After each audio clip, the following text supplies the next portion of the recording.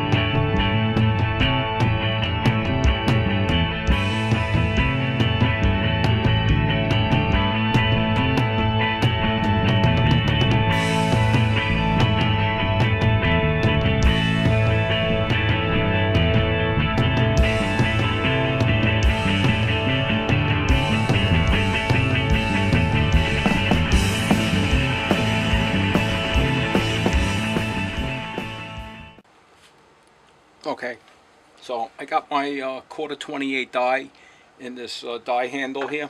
I'm just using the chuck to, to keep it uh, centered, or just to keep it um, uh, pressed up square against the stock. Um, I'm going to run the die up, and then I'm going to take the die out of the uh, die holder, flip it around, and this way I can cut the threads all the way to the shoulder, or, or to the hex where, where it stops. So I got the I got the lathe in back gears to lock up the chuck so it don't spin. And um, I'll just advance the tail stock a little bit as I go just to keep the pressure on it.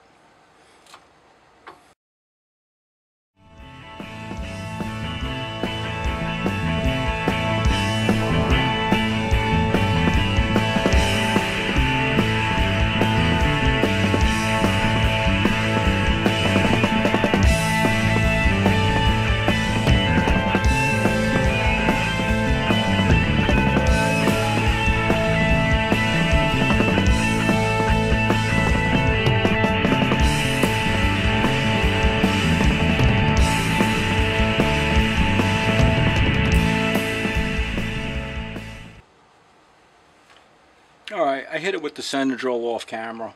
Um, I got the eighth inch drill bit in now and I'll drill it in um, a little over th uh, 3 eighths of an inch.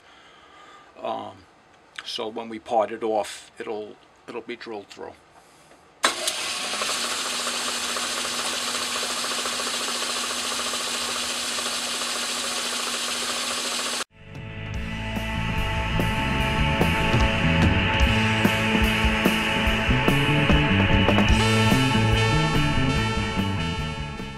Just bump that out a little bit more. Give me a little bit more clearance with my uh, parting tool here.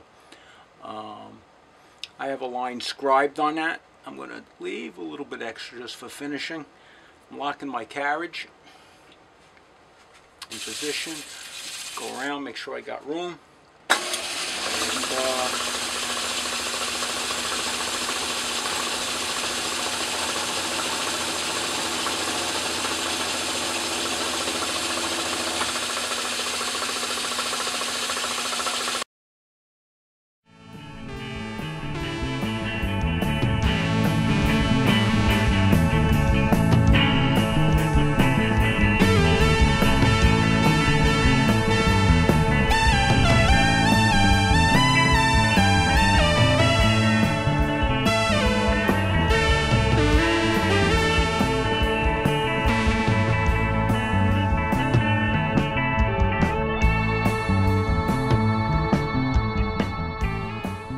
Okay, so here's the packing nut all finished. Um, so um, pretty simple piece to make. And um, all right, we'll continue on.